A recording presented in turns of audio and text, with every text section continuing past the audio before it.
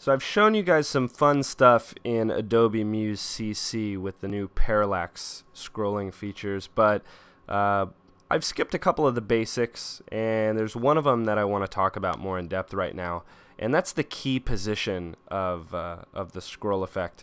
Now, I've got a fun little example here to try to kind of create an analogy out of it, but it might not be the best analogy. I'd love some feedback in the comments. Uh, but essentially, if you guys have tried playing with the parallax scrolling and you've tried having two objects scroll at different speeds, you've probably noticed that a regular object and a fast scrolling or slow scrolling object seem to come together and line up with one another at sort of an arbitrary time.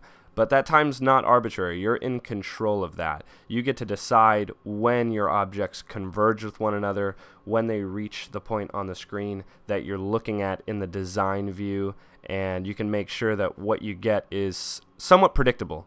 So what we're looking at here, I've got two race cars and I've got a pinned finish line that doesn't scroll and I'll go into the preview here so you can see what that looks like. So they scroll at the same speed my finish line stays put and they reach the top of the browser at exactly the same moment.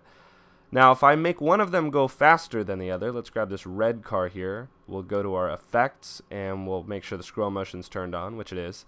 I'm gonna set this to scroll vertically twice as fast. That's going to be the number 2 and I've got this locked together with the motion after key because I don't want it to change speed. I'm just going to have it scroll twice as fast all along. Now let's see what that looks like when we preview it. See the car's not there because really it needs to arrive on the screen at some time and if it's scrolling twice as fast then it needs kind of to give everything else a head start, right? Think about uh, receiver in football running out for the pass. The uh, quarterback does not throw the ball the moment the receiver begins to run. The receiver runs slower than the ball gets thrown, so the receiver gets a head start, and then there's a point at which the ball gets thrown much, much faster and meets the receiver at some spot on the field. So let's scroll. Let's see where these cars meet. So I'm scrolling along, scrolling along. It looks like they become dead even just before the finish line. Not at the finish line, not at the top of the browser. The red car is ahead by the time they get to the top of the browser. So this seems just a little bit arbitrary, right? They're not side by side in the same position as my design view, otherwise they'd be side by side right now. So what exactly is going on? This is where the key position come in, comes into play. So I'm going to select my red car, and there's this little this little leader sticking out. There's this little line with another little line and a handle that I can grab. That is the key position, and what that position means is where will the top of the browser be when this object is in this position as it is in the design view.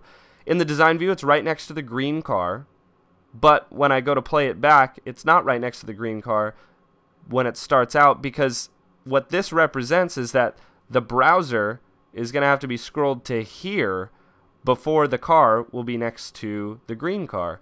But the green car won't be here anymore because we will have scrolled.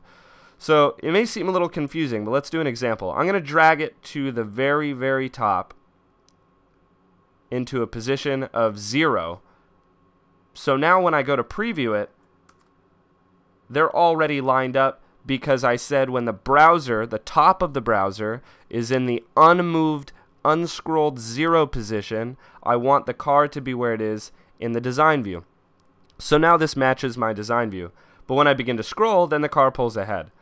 Now if I want them to reach the very, very top of the browser at the same time, then I want the browser top to be lined up with the nose of the car, not all the way at the top of the browser. So I'm going to pull this down and now what I'm saying is be lined up with the green car when the top of the browser bumps the nose of the red car because I'm telling it based on the position of the red car. I'm going to preview it again. No red car, no red car. Up, oh, here he comes, here he comes. And they are lined up at the top of the browser. So what I'm doing with the key position is I'm saying, where will the top of the browser be? Reserve battery power, that's embarrassing. Where will the top of the browser be when this image or this shape or this object gets to the place that I see it in right now?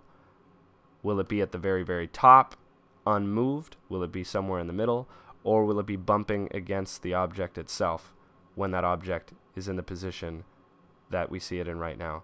It's definitely something to play with. It's very confusing, but the idea is if you've got something coming in at a faster or slower speed, then it can't really line up with everything else anymore. You've now sort of broken the rules. You've changed the rules. So you have to tell the computer at what moment, how far do I have to scroll in order for this object to line up the way I see it in the design view? How far down do I have to scroll?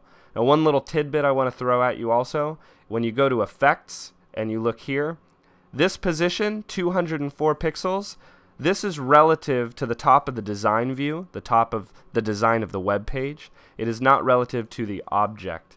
When you're dragging it by the handle, you get to see both. Do you guys see that where it says browser top 241, but it also says object top negative 161. You get to see both right here. For some reason, Adobe has not included the ability to type in when you want this object to get where it is based on the object itself.